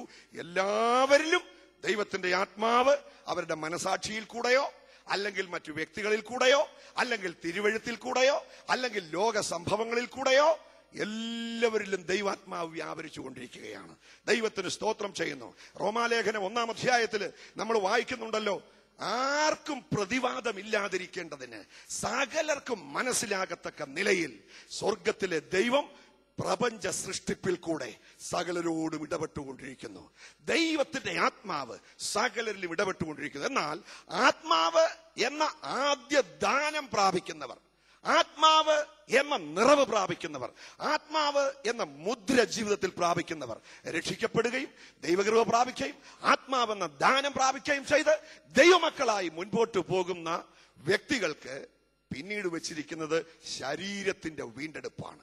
ശരീരത്തിന്റെ വീണ്ടെടുപ്പ് എന്ന പൂർണപുത്രത്വം അതിനെയാണ് ദ ഫുൾ സൺഷിപ്പ് എന്ന് പറയുന്നത്. It is the complete sonship we become sons of God ഇപ്പോൾ നമ്മൾ we are children of God നമ്മൾ ദൈവ മക്കളാണ് കാൺമീൻ നാം ദൈവമക്കൾ എന്ന് വിളിക്കപ്പെടുവാൻ പിതാവ് നമുക്ക് എത്ര വലിയ സ്നേഹം നൽകിയിരിക്കുന്നു. എന്നാൽ ഇനിയും അവൻ നമുക്ക് നൽകുവാൻ പോകുന്ന ആത്മാവിനാൽ നമുക്ക് ലഭിക്കുവാൻ പോകുന്ന ശരീരം നമുക്ക് കിട്ടിക്കഴിയുമ്പോൾ നാം പുനരുത്ഥാന പുത്രന്മാരാകയാൽ ദൈവദൂത തുല്യരും ദൈവപുത്രന്മാരും എന്ന് വിളിക്കപ്പെടും എന്ന് തിരുവെഴുത്ത് പറയുന്നു. അപ്പോൾ ദൈവം ഈ ഭൂമിയെ സൃഷ്ടിച്ച തേജസിന്റെ അവസ്ഥയും ആ ഭൂമിയിൽ ദൈവം സൃഷ്ടിക്കുവാൻ തന്റെ മനോമണ്ഡലത്തിൽ ആദ്യമേ സൃഷ്ടിച്ചാക്കിയ മനുഷ്യനും. അഥവാ ദൈവത്തിന്റെ പുത്രനായ ക്രിസ്തു പറയുന്നു എന്റെ പ്രമോദം മനുഷ്യപുത്രന്മാരോടുകൂടെയായിരുന്നു. അതുകൊണ്ടാണ് ഈ മനുഷ്യരെന്തെല്ലാം പാപം ചെയ്തിട്ടും മനുഷ്യരെ തള്ളിക്കളയാൻ ദൈവത്തിന് കഴിയാത്തത്. ലൂസിഫർ വിചാരിച്ചു അവനെ ദൈവം തള്ളിക്കളഞ്ഞു അവനൊരു വീണ്ടെടുപ്പ് റിഡംഷൻ ദൈവം വെച്ചില്ല. ഒൻപത് വിധ രത്നങ്ങൾ കൊണ്ട് അടിപ്പ് പണിയായിട്ടാണ് ലൂസിഫറിനെ ദൈവം സൃഷ്ടിച്ചത്. ലൂസിഫർ എന്ന് പറഞ്ഞാൽ നമുക്ക് വേണ്ടി ദൈവം സൃഷ്ടിച്ച ആദ്യത്തെ ഭൂമിയിൽ. അവകാശികളായ നമ്മൾ വരുന്നത് വരെ കാവൽക്കാരായി ദൈവമാക്കിയിരുന്ന ആളുകളാണ് ലൂസിഫറും അവന്റെ സംഘവും. ലൂസിഫറിന് വേണ്ടി അല്ല ഭൂമി സൃഷ്ടിച്ചത്. ഭൂമി മനുഷ്യന് വേണ്ടി മാത്രം സൃഷ്ടിച്ചതാണ്. എന്നാൽ ദൈവത്തിന്റെ മനോമണ്ഡലത്തിൽ വ്യാപരിച്ചുകൊണ്ടിരുന്ന മനുഷ്യപുത്രന്മാരെ ടാഞ്ചിബിളായി സ്പർശ്യമായി കോൺക്രീറ്റ് ആയി മൂർത്തമായി ഈ ഭൂമിയിൽ ഭൂതലത്തിൽ സൃഷ്ടിക്കുവാൻ സമയം വരുന്നത് വരെ ഭൂമിയുടെ വളർച്ച കംപ്ലീറ്റ് ആകുന്നത് വരെ ഭൂമിയെ കാക്കുവാൻ ദൈവം തന്റെ തേജസ്സുള്ള ലൂസിഫറിനെ പ്രഭാതപുത്രന്മാരെ അരുണോദയ പുത്രനായ ശുക്രനെ ദൈവം അവിടെ ആക്കിയിരുന്നു. ദൈവത്തിന് സ്തോത്രം ചെയ്യുന്നു. രണ്ട് ചിറക് കൊണ്ട് മുഖം മൂടി രണ്ട് ചിറക് കൊണ്ട് പാദം മൂടി രണ്ട് ചിറക് കൊണ്ട് പറന്നു നിന്നുകൊണ്ട് സൈന്യങ്ങളുടെ ദൈവമായ യഹോവ പരിശുദ്ധൻ പരിശുദ്ധൻ പരിശുദ്ധൻ എന്ന് ഒരുത്തനോട് ഒരുത്തൻ. രണ്ടുപേര് ഏറ്റുപ്രസംഗമായിരുന്നു അവിടെ. ഒരുത്തനോട് ഒരുത്തൻ. സൈന്യങ്ങളുടെ ദൈവമായ യഹോവ പരിശുദ്ധൻ എന്ന് ഒരുത്തൻ പറയുമ്പോൾ മറ്റവനും പറയും പരിശുദ്ധൻ. ഇവൻ പറയും വീണ്ടും പരിശുദ്ധൻ. ഇവനും പറയും പരിശുദ്ധൻ. അങ്ങനെ ദൈവത്തിന്റെ പരിശുദ്ധിയെ സ്തുതിച്ചുകൊണ്ട് ഇവൻ ഇരിക്കുമ്പോൾ ഇവന്റെ ചിറകിന്റെ അടിയിൽ സകലവിധ വാദ്യ ഉപകരണങ്ങളും ദൈവം സൃഷ്ടിച്ചാക്കിയിരുന്നു. ഈ വാദ്യോപകരണങ്ങളെല്ലാം പണിതിരുന്നത് പൊന്നുകൊണ്ടായിരുന്നു. ഇവനെ ഇവനെ സൃഷ്ടിച്ചത് എന്തോ കൊണ്ടാ? ഒൻപത് വിധ രത്നങ്ങൾ കൊണ്ട് ഏറ്റവും വിലയേറിയ രത്നങ്ങൾ കൊണ്ട് ഇവന്റെ ചിറകിന്റെ തൂവൽ പോലും സൃഷ്ടിച്ചത് ഈ രത്നം കൊണ്ടായിരുന്നു. എന്നാൽ ഇവന്റെ ചിറകിന്റെ അടിയിലെ വാദ്യോപകരണങ്ങൾ ഓർഗനും ഗിറ്റാറും എന്ന് വേണ്ട എന്തെല്ലാം സംഗീതോപകരണങ്ങളുണ്ടോ അതെല്ലാം സ്വർഗത്തിലെ ദൈവം ഇവന്റെ ചിറകിന്റെ അടിയിൽ ഫിറ്റ് ചെയ്തിരുന്നു. ഇവൻ ചിറക് ഇങ്ങനെ വിടർത്തുമ്പോൾ തന്നെ സ്വയമേവ ഓട്ടോമാറ്റിക്കായി ഈ സംഗീത ഉപകരണങ്ങൾ മീട്ടുമായിരുന്നു അതിന്റെ താളലയ നിബദ്ധമായ സംഗീത സാന്ദ്രമായ ആരാധന സൗഭാഗ്യത്തോടു കൂടെ ഇവനും സൈന്യങ്ങളുടെ ദൈവമായ ഹോവ പരിശുദ്ധൻ പരിശുദ്ധൻ പരിശുദ്ധൻ. ഇങ്ങനെ ഈണത്തിനങ്ങ് പറഞ്ഞാൽ മാത്രമായിരുന്നു മതിയായിരുന്നു. ഇവന്റെ ഹൃദയം അപ്പോഴും ബ്ലാങ്ക് ആയിരുന്നു. ഇവന്റെ ഹൃദയത്തിനകത്തൊന്നുമില്ലായിരുന്നു. നാവുകൊണ്ട് ഇവൻ ദൈവത്തെ സ്തുതിക്കുമെങ്കിലും ഇവന്റെ ആധാരം കൊണ്ട് ഇവൻ ദൈവത്തെ സ്തുതിക്കുമെങ്കിലും ഇവന്റെ അന്തർഭാഗം മുഴുവൻ പൊള്ളയായിരുന്നു. അതിന്റെ അകം നിറഞ്ഞു നിന്നത് അഹന്തയായിരുന്നു. ദൈവത്തിന്റെ സിംഹാസനത്തിന് മീതെ സാഹസം കൊണ്ട് ഇവന്റെ ഹൃദയം നിറഞ്ഞപ്പോൾ ദൈവത്തിന്റെ സിംഹാസനത്തിന് മീതെ ഞാൻ കയറും. അത്യുന്നതന്റെ സിംഹാസനങ്ങൾക്ക് മീതെ എന്റെ സിംഹാസനം ഞാൻ വെക്കും. ഞാൻ മേഘോന്നതങ്ങൾക്ക് മീതെ കയറും എന്ന് അവൻ ഹൃദയത്തിൽ പറഞ്ഞു. അതവൻ ചിന്തിച്ച് കഴിഞ്ഞപ്പോൾ തന്നെ സ്വർഗത്തിലെ ദൈവത്തിന്റെ ഷക്കീനയുടെ വെട്ടേറ്റ് ഇവൻ വീണു. ദൈവത്തിന് സ്തോത്രം ചെയ്യുന്നു. ഇവനെ ഇവൻ വെട്ടി ഇവൻ വെട്ടേറ്റ് വീണിങ്ങോട്ട് വരുന്നതിനെ ഇംഗ്ലീഷിലെ ഏറ്റവും പ്രസിദ്ധനായ കവി ജോൺ മിൽട്ടൺ അദ്ദേഹത്തിന്റെ പ്രസിദ്ധമായ പാരഡൈസ് ലോസ്റ്റ് എന്ന് പറയുന്ന കാവ്യത്തിൽ ഇങ്ങനെ എഴുതിയിരിക്കുന്ന ഇംഗ്ലീഷ് ഭാഷയിലെ ഏറ്റവും കട്ടിയുള്ള വാക്കുകളാണ് മിൽട്ടൺ ഉപയോഗിച്ചിരിക്കുന്നത്. അതിങ്ങനെയാണ് he held headlong flaming from the ethereal sky to bottomless perdition there to dwell in adamantine chains and penal fire ഇംഗ്ലീഷുകാർക്ക് പോലും ഇത് വായിച്ചിട്ടൊന്നും പിടികിട്ടിയില്ല. മിൽട്ടനോട് ഒരിക്കൽ ഒരു പണ്ഡിതനായ ഓക്സ്ഫോർഡിലെ ഒരു പ്രൊഫസർ ചോദിച്ചു എന്തുകൊണ്ടാണ് ഇത്ര കട്ടയുള്ള വാക്ക് ഉപയോഗിച്ചത്? ഉടനെ അദ്ദേഹം പറഞ്ഞു ഇവന്റെ വീഴ്ചയ്ക്ക് ഇതിനേക്കാൾ കട്ടിയുള്ളത് വല്ലതും ഉണ്ടായിരുന്നേ അത് ഞാൻ ഉപയോഗിച്ചതിനു എന്ന് പറഞ്ഞു. കാരണം അത്ര കാഠിന്യമേറിയ പദങ്ങൾ കൊണ്ടാണ് ഇവന്റെ വീഴ്ചയെ ആ മഹാകവി ചിത്രീകരിച്ചിരിക്കുന്നത്. ദൈവത്തിന് സ്തോത്രം ചെയ്യുന്നു. Of man's first disobedience and the fruit of that forbidden tree whose mortal taste brought death into the world. എന്ന് പറഞ്ഞാണ് പാരഡൈസ് ലോസ്റ്റിന്റെ പന്ത്രണ്ട് പുസ്തകങ്ങളിൽ ആദ്യത്തെ പുസ്തകം ആരംഭിക്കുന്നത്. ദൈവത്തിന് സ്തോത്രം ചെയ്യുന്നു. പർദീസ നഷ്ടപ്പെട്ടു പോയ മനുഷ്യനെ പർദീസ നഷ്ടപ്പെടുത്തിയവന്റെ വീഴ്ചയെ കുറിച്ച് അവിടെ ഇങ്ങനെയാണ് രേഖപ്പെടുത്തിയിരിക്കുന്നത്. അവന്റെ വീഴ്ച ഭയാനകമായിരുന്നു. എന്നാൽ അക്ഷരീകത്തിലുള്ള അവന്റെ വീഴ്ച ഇനി സംഭവിക്കാനിരിക്കുന്നതേ ഉള്ളൂ. വെളിപ്പാട് പുസ്തകം പന്ത്രണ്ടാം അധ്യായത്തിൽ പഴയ പാമ്പായ സർപ്പത്തെ ആകാശമണ്ഡലത്തിൽ നിന്ന് ദൈവത്തിന്റെ പ്രധാന ദൂതനായ മിഖായേൽ അവനോട് യുദ്ധം ചെയ്ത് അവനെ ഇങ്ങ് താഴോട്ട് തള്ളിയിടും. വെളിപ്പാട് ദിവസം പന്ത്രണ്ടാം അധ്യായത്തിലേക്ക് വരുമ്പോൾ ഏഴ് തലയും ആ പത്ത് കൊമ്പും തലയിൽ ഏഴ് രാജമുടികളും കടും ചുവപ്പ് നിറവുമുള്ള ഒരു സർപ്പം. പ്രൈസലോട്ട് വായിച്ചിട്ടുണ്ടോ ഈ ഭാഗം? വായിക്കാൻ തന്നെ ചിലർക്ക് പേടിയാ. ഏഴ് തല.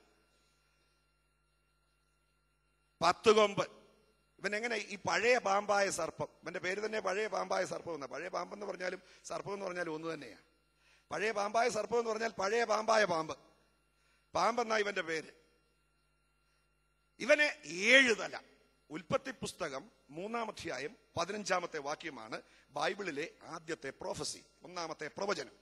സ്ത്രീയുടെ സന്തതിയായി ദൈവം തന്റെ പുത്രനെ അയക്കുമെന്നും സ്ത്രീയുടെ സന്തതി സർപ്പത്തിന്റെ തലയെ തകർക്കും. അവിടെ തലയെ എന്ന് ഏകവചനത്തിലാണ് പറഞ്ഞിരിക്കുന്നത്. അപ്പൊ ഉൽപ്പത്തി പുസ്തകത്തിൽ ഇവൻ എത്ര തലയുണ്ട്? ഒരു തലയേ ഉള്ളൂ. എന്നാൽ വെളിപ്പാട് പുസ്തകത്തിൽ വരുമ്പോഴേക്കും ഇവന്റെ ഈ ഒരു തല ഏഴ് തലയായി. എങ്ങനായി? കാൽവറി ക്രൂശിൽ നമ്മുടെ കർത്താവ് മത്തങ്ങ പോലെ ഇവൻ ഇരുന്ന ഇവന്റെ തലക്കിട്ട് ഒരു ചവിട്ട് കൊടുത്തു. ഏഴായിട്ട് സംഖ്യകളുടെ പൂർണതയായ ഏഴായിട്ട് അങ്ങ് കീറി. ഇനി അവന്റെ തല ആരും ചവിട്ടി പൊട്ടിക്കണ്ട. നേരത്തെ പൊട്ടിക്കഴിഞ്ഞു പൊട്ടി കീറിക്കഴിഞ്ഞു. ഏഴ് തലയിലും പിന്നെ ഇപ്പോഴവൻ ഓരോ കിരീടം വെച്ചിട്ടുണ്ട്. ഞാൻ എനിക്ക് പണ്ട് ഒരു തലയേ ഉള്ളായിരുന്നു ഇപ്പം എനിക്ക് ഏഴുണ്ട്. വീണത് വിദ്യയാക്കുന്നവനാ അവൻ. ഏത് വന്നാലും ആ സാഹചര്യം അനുസരിച്ച് ഇടപെടാൻ തന്ത്രശാലിയ. കർത്താവ് പറഞ്ഞു അപ്പസ്വലം പറയുന്നു പിശാജിന്റെ തന്ത്രങ്ങളെ നിങ്ങൾ അറിയാത്തവരല്ലല്ലോ. പിശാജിനോട് എതിർത്ത് നിൽപ്പീൻ അവൻ നിങ്ങളെ വിട്ട് ഓടിപ്പോകും. എതിർത്ത് നിൽപ്പിനെന്ന് പറഞ്ഞാൽ അവനോട് യുദ്ധം ചെയ്യുകയും ഒന്നും വേണ്ട. അവിടെ ഉപയോഗിച്ചിരിക്കുന്ന resist the devil resist the devil എന്ന് പറഞ്ഞാൽ അവനോട് അടിക്കുകയും പിടിക്കുകയും ഒന്നും വേണ്ട. ഒന്ന് ബലം പിടിച്ചാൽ മതി. സ്തോത്രം. നാഷണൽ ഹൈവേ കൂടെ വണ്ടി പോകുമ്പോൾ ചില തവള ബലം പിടിക്കുന്ന കണ്ടിട്ടില്ലേ? അങ്ങനത്തെ ബലം പിടിക്കലാകരുത്. തവള വണ്ടി കയറുമ്പോൾ അങ്ങ് പൊട്ടിപ്പോകും പക്ഷെ ദൈവമക്കൾ ബലം പിടിക്കുന്ന റെസിസ്റ്റ് ദ ഡെവൾ അവനോട് വലിയ യുദ്ധമൊന്നും ചെയ്യേണ്ട. കൃപ പ്രാപിച്ച ദൈവ പൈതൽ ആത്മാവിനാൽ നിറഞ്ഞ ദൈവമൈതൽ ദൈവ കൃപ കൃപയുള്ളവൻ. ജീവിതത്തിൽ വിശുദ്ധിയുള്ളവൻ. ഹാലലൂയ സ്തോത്രം. ദൈവകൃപ പ്രസംഗത്തിൽ കാണിച്ചാൽ പോരാ. ദൈവകൃപ പ്രഭാഷണങ്ങളിൽ വന്നാൽ പോരാ. സാക്ഷ്യങ്ങളിൽ വന്നാൽ പോരാ. എഴുത്തുകളിൽ വന്നാൽ പോരാ. ജീവിതത്തിൽ വിശുദ്ധിയോടും വേർപാടോടും കൂടെ ആ അധികാരത്തോടെ ദൈവത്തിന്റെ കൃപ പ്രാപിച്ചിരിക്കുന്ന ഒരു ദൈവപൈതൽ ഒന്ന് റെസിസ്റ്റ് ചെയ്താൽ അവന്റെ മുൻപിൽ സാത്താൻ നിൽക്കുകയില്ല. അവൻ തോറ്റവനാ. സാത്താൻ തോറ്റവനാ. കാൽവറി ക്രൂശിൽ നമ്മുടെ കർത്താവ് അവനെ ആയുധവർഗം വെയ്പ്പിച്ച് കീഴടക്കി. ജയവും ഉത്സവവും കൊണ്ടാടി. ഇനിയും അവന് ജയിപ്പാൻ കഴിയത്തില്ല. അവൻ തോറ്റ ശത്രുവാണ്. സ്തോത്രം. അങ്ങനെ ഒരു തല ഉണ്ടായിരുന്ന ഇവന്റെ തല ഏഴായിട്ട് കീറിപ്പോയി. ദൈവത്തിന് സ്തോത്രം. ഏഴ് തലയുള്ള ഇവൻ താഴോട്ട് വീണു വരുമ്പോൾ ഇവനെ സ്വീകരിപ്പാൻ താഴെ അതുപോലെ ഏഴ് തലയും പത്ത് കൊമ്പുമുള്ള ഒരു മൃഗം ഇങ്ങനെ നിൽക്കുക. അതുകൊണ്ട് ഈ ഏഴ് തലയുള്ള പുള്ളിക്ക് ശരിയായിട്ട് വന്നങ്ങ് ഫിറ്റ് ചെയ്യാനായിട്ട് വെക്കും. ഇത് അന്തിക്രൈസ്തവ വീടാകാലത്ത് നടക്കാൻ പോകുന്ന കാര്യമാണ്. ഇത് സംഭവിക്കുമ്പോൾ സഭ ഇവിടെ കാണത്തില്ല. നമ്മൾ വാനമേഘങ്ങളിലായിരിക്കും. ചിലരിപ്പം പുതിയ ഒരു ഉപദേശം കൊണ്ട് വന്നിട്ടുണ്ട് സഭ ഇതിന്റെ അകത്തോടൊക്കെ കയറി പോകുമെന്ന്. സഭ ഇതിന്റെ അകത്തോടൊന്നും കയറി പോകത്തില്ല. സഭയ്ക്ക് ഇതിന്റെ അകത്തൊന്നും പോകേണ്ട കാര്യവുമില്ല. ഇത് സഭയ്ക്ക് വേണ്ടിയുള്ളതല്ല. പീഡാകാലം എന്ന് പറയുന്നത് യഹൂദന്റെ എഴുപതാമത്തെ ആഴ്ചവട്ടമാണ്. അറുപത്തിയൊൻപത് ആഴ്ചവട്ടം യഹൂദനുള്ളതാണെങ്കിൽ എഴുപതാമത്തേത് അവർക്ക് മാത്രമുള്ളതാണ്. സഭയ്ക്കുള്ളതല്ല.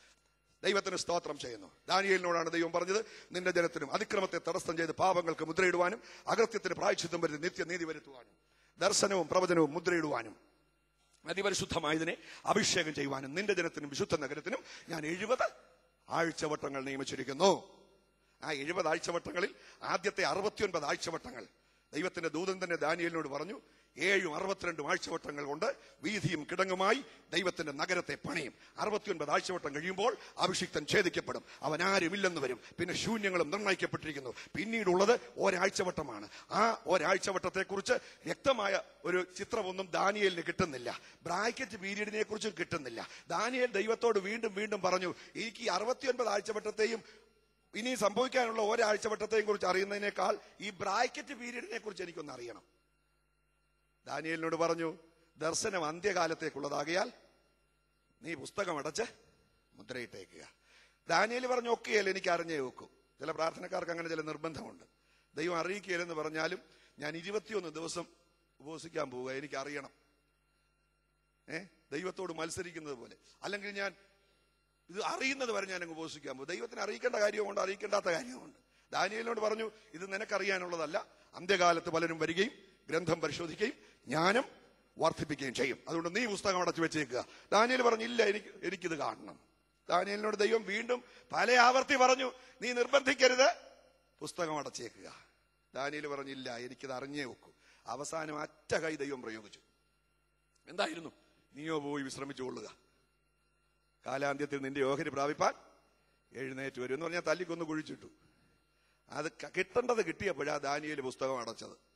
ആ പുസ്തകം പിന്നെ തുറന്നത് യോഹന്നാനാണ്.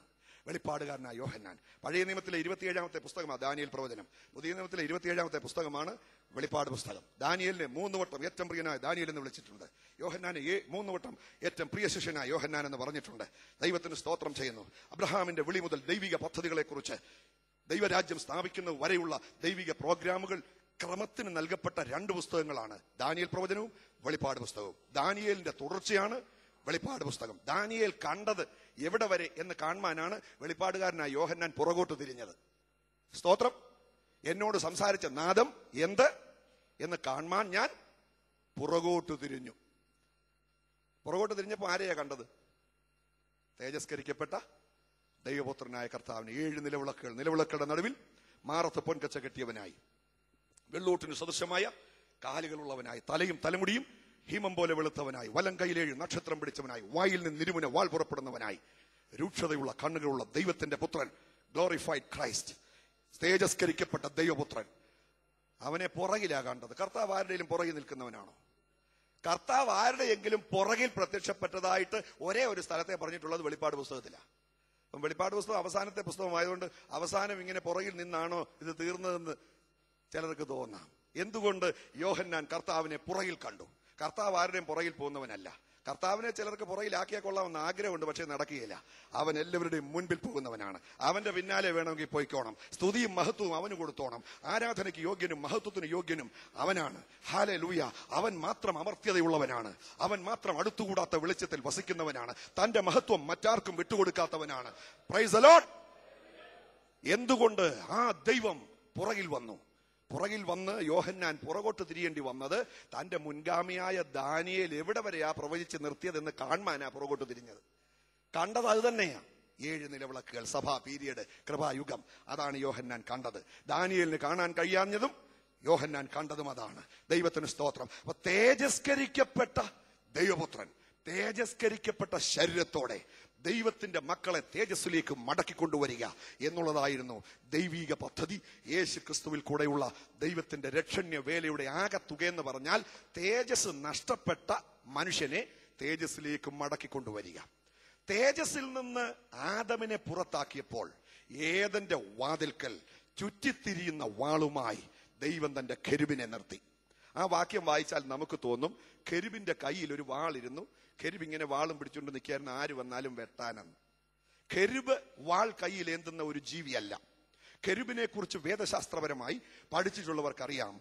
കെരൂബ് മനുഷ്യൻ മൃഗം ഇഴജാതി പറവ ഈ നാല് ജീവികളുടെയും സമ്മിശ്ര രൂപമാണ് കെരുബ്. സ്വർഗത്തിൽ അനേക ജീവജാലങ്ങളുണ്ട്.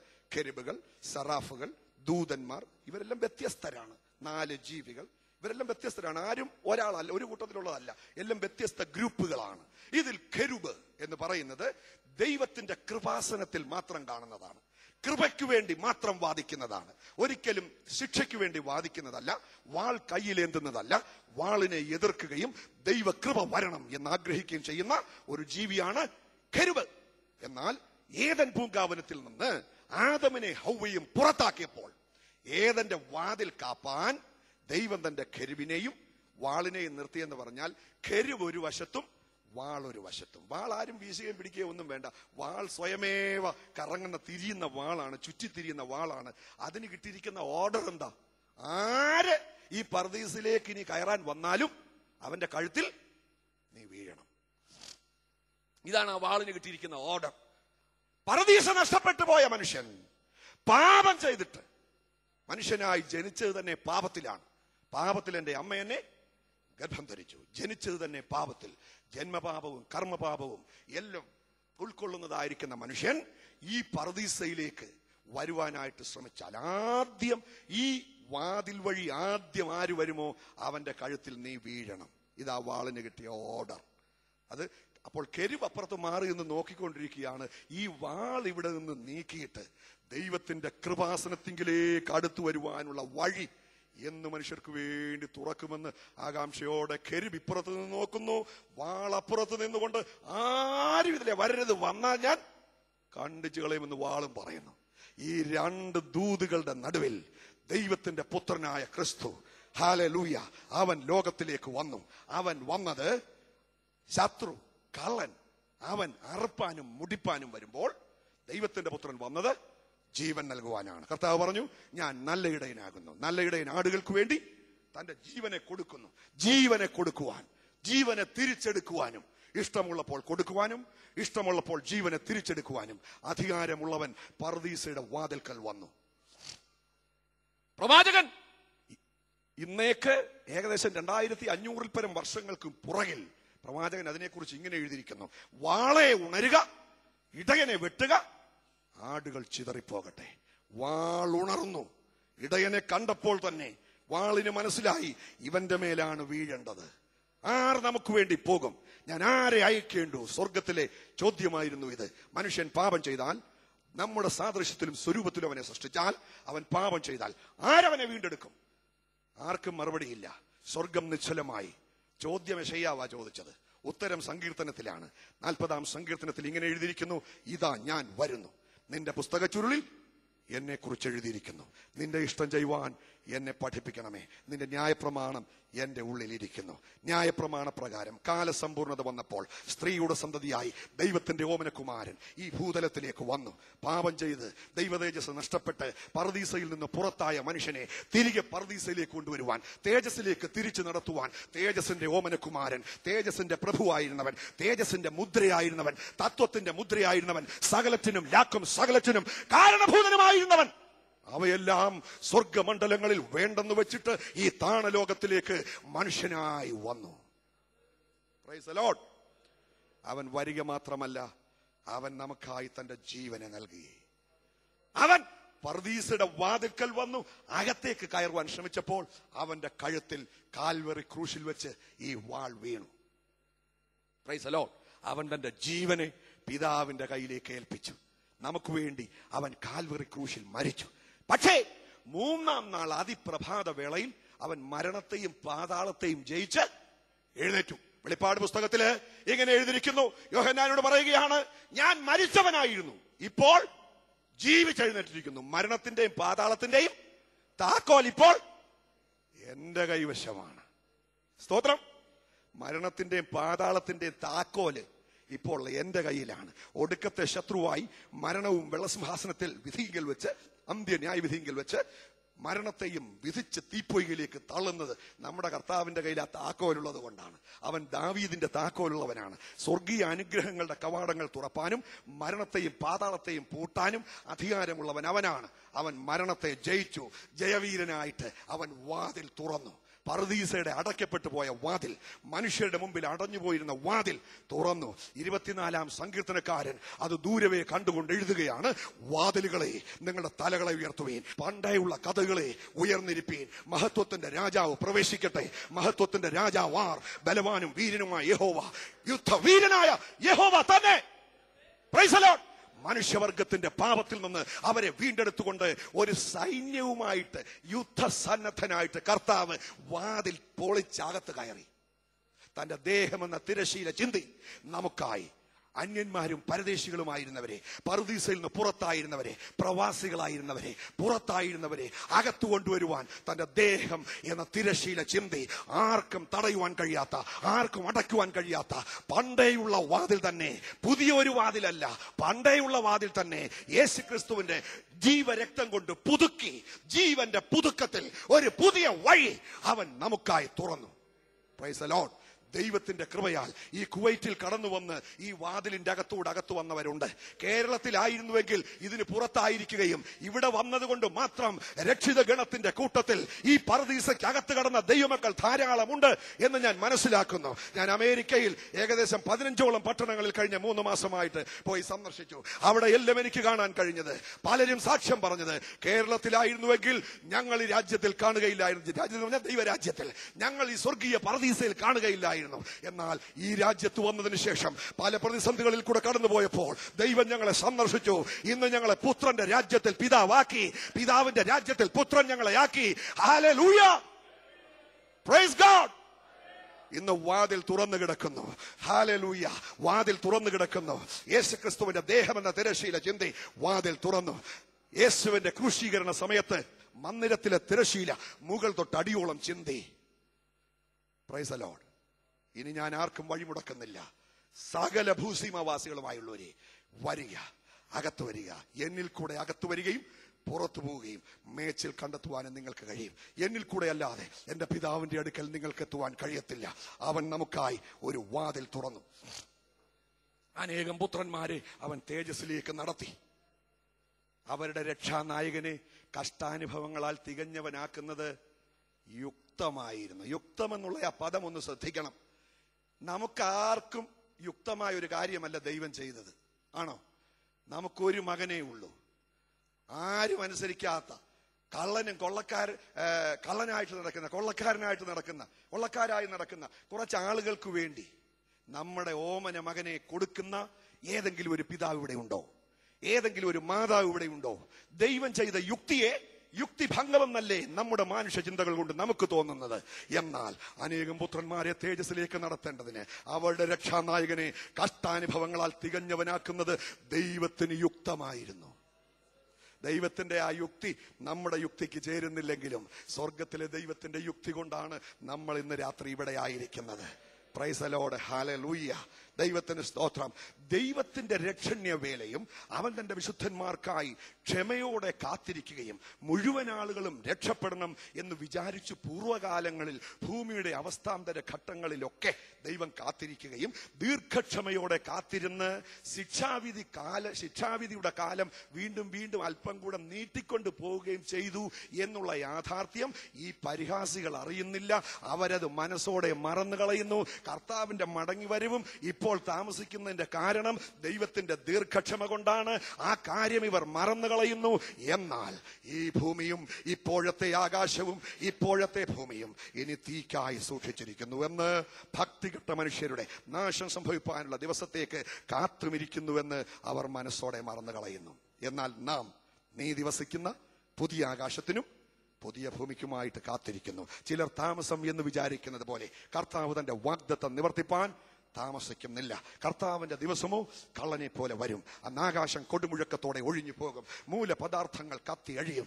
ഭൂമിയും അതിന്റെ പണികളും വെന്തു പോകും. ഈ ഭൂമിയും അതിന്റെ എലിമെൻസും കത്തി അഴിയുന്ന ഹാലലൂയ ദൈവക്രോധത്തിന്റെ ദിവസത്തിലേക്ക് അധികം താമസിക്കാതെ ഈ ഭൂമി വീഴാൻ പോകുന്നു. അതിനി അധികം കാലമൊന്നുമില്ല. കർത്താവ് മടങ്ങി വന്നാൽ മാത്രം മതി. മടങ്ങി വരവിന്റെ ലക്ഷ്യങ്ങൾ അവിടെ ഇവിടങ്ങളായി നടന്നുകൊണ്ടിരിക്കുന്നു. സംഭവിച്ചുകൊണ്ടിരിക്കുന്നു. യേശുക്രിസ്തുവിന്റെ പ്രത്യക്ഷതയുടെ വാഗ്ദത്തം എവിടെ?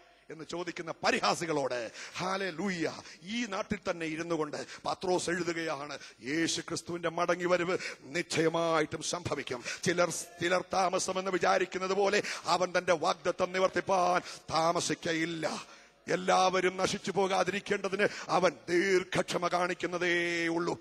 കർത്താവിന്റെ ദിവസമോ കള്ളനെ പോലെ വരും. ആരും നനയാതിരിക്കുന്ന നാഴികയിൽ വിചാരിക്കാതിരിക്കുന്ന നാഴികയിൽ കർത്താവ് മടങ്ങി വരും. അന്ന് രണ്ടുപേർ വയലിൽ ഒരുമിച്ചിരിക്കും. ഒരുത്തൻ എടുക്കപ്പെടും ഒരുത്തൻ കൈ ഒരു ഒരുത്തൻ കൈവിടപ്പെടും. രണ്ടുപേർ ഒരുമിച്ച് തിരികല്ലിൽ പൊടിച്ചുകൊണ്ടിരിക്കും. ഒരുത്തൻ എടുക്കപ്പെടും ഒരുത്തൻ കൈവിടപ്പെടും. രണ്ടുപേർ ഒരുമിച്ച് കിടക്കയിലായിരിക്കും. ഒരുത്തൻ എടുക്കപ്പെടും മറ്റേയാൾ കൈവിടപ്പെടും. ഇന്ന് രാത്രി ഇവിടെ കടന്നു വന്നിരിക്കുന്നതിൽ ഹസ്ബൻഡ് രക്ഷിക്കപ്പെട്ടത് ഭാര്യ രക്ഷിക്കപ്പെടാത്തത് ഭാര്യ രക്ഷിക്കപ്പെട്ടത് ഹസ്ബൻഡ് രക്ഷിക്കപ്പെടാത്തത്. ഹാലലി മക്കൾ രക്ഷിക്കപ്പെടാത്തത്.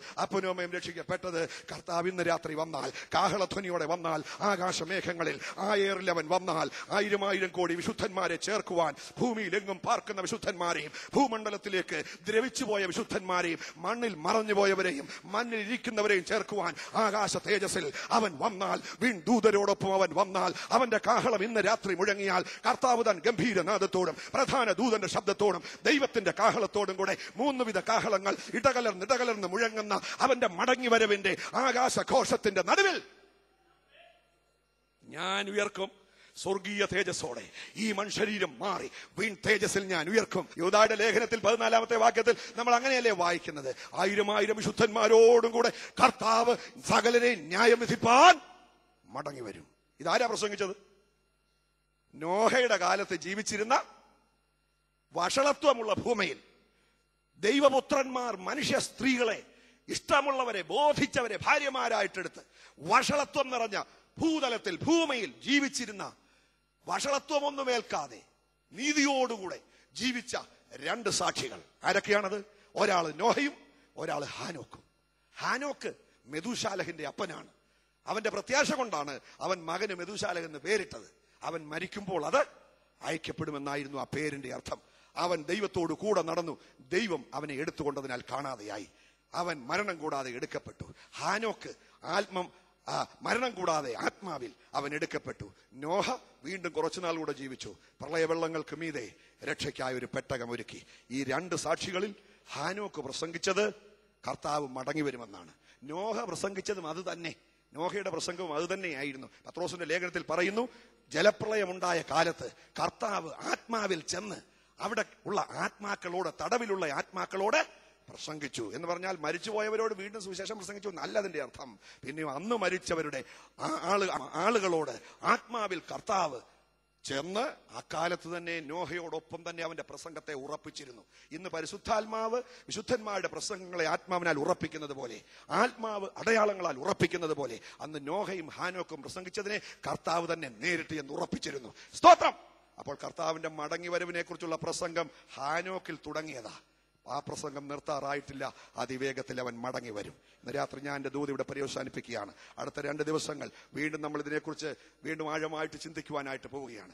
ഭൂമിയുടെ ഏഴ് ഘട്ടങ്ങളിൽ കൂടെ ദൈവിക മടങ്ങിവരവിന്റെ പദ്ധതിക്കായി ദൈവം ഒരുക്കിയ വീണ്ടെടുപ്പിൻ വേലയെക്കുറിച്ച് അടുത്ത ദിവസങ്ങൾ നമ്മൾ ചിന്തിക്കുവാനായിട്ട് പോവുകയാണ്. ഒരുപക്ഷെ അത് നടക്കുന്ന അടുത്ത ദിവസം വരുന്നതിന് മുൻപ് ഒരുപക്ഷെ ഇന്ന് രാത്രി തന്നെ കർത്താവ് വന്നാൽ. നാളെ എന്നുള്ളത് നമുക്കുള്ളതല്ലല്ലോ. അല്ലെങ്കിൽ നാളെ പ്രഭാതത്തിന് മുൻപ് നമ്മുടെ ജീവൻ നമ്മുടെ ഈ ശരീരത്തിൽ നിന്ന് പറന്നു പോയാൽ. ഹാലലൂയ നമ്മൾ ആരും ഇവിടെ വലിയവരല്ല. നമ്മൾ ഭയങ്കര ആളുകളാണെന്നൊക്കെ വിചാരിച്ചിരിക്കുക. നോ ദൈവത്തിന് സ്തോത്രം. നമ്മുടെ ഈ ഭൂമിയിലെ ആയുസ് വളരെ ചെറുതാണ്. നൊടി നേരത്തേക്കുള്ള ലഘുവായ കഷ്ടം അത്യന്തമനവധിയായി തേജസിന്റെ നിത്യഘനം നമുക്കായി കർത്താവ് ഒരുക്കുന്നു. ഇന്ന് രാത്രി അതിനായിട്ട് തയ്യാറാവുക. അതിവേഗത്തിൽ കർത്താവ് വരുന്നു. ദൈവത്തിന് സ്തോത്രം ചെയ്യുന്നു. അടുത്ത ദിവസങ്ങളിൽ കർത്താവിന്റെ വരവിനെ കുറിച്ച് കൂടുതൽ ദൈവവചനത്തിൽ നമുക്ക് ആഴമായിട്ട് ചിന്തിക്കാം. ഈ സമയം വരെ ദൈവത്തിന്റെ വചനം ശ്രദ്ധിച്ചുകൊണ്ടിരുന്ന എല്ലാ പ്രിയപ്പെട്ടവർക്കും ശ്രേഷ്ഠന്മാരായ അനേക ദൈവദാസന്മാർ ഇവിടെയുണ്ട് അവരെല്ലാവരെയും കർത്താവിന്റെ നാമം ഞാൻ പ്രത്യേകം അവരെ ഓർത്ത് പ്രാർത്ഥിക്കുന്നു. കർത്താവിന്റെ വിലയേറിയ ദാസൻ ഈ മീറ്റിംഗ് ലീഡ് ചെയ്ത കർത്താവിന്റെ ദാസനോടും എല്ലാ സഹോദരങ്ങളോടും കർത്താവിന്റെ നാമത്തിൽ വന്ദനം അറിയിക്കുന്നു. നമ്മുടെ കർത്താവ് അതിവേഗത്തിൽ വരുന്നു. അവന്റെ വരവിനായിട്ട് ഒരുങ്ങുക. ജീവിതത്തെ വിശുദ്ധീകരിച്ച് കാത്തിരിക്കുക. കർത്താവ് നമ്മെ ഈ വചനങ്ങളാൽ അനുഗ്രഹിക്കുമാറാകട്ടെ.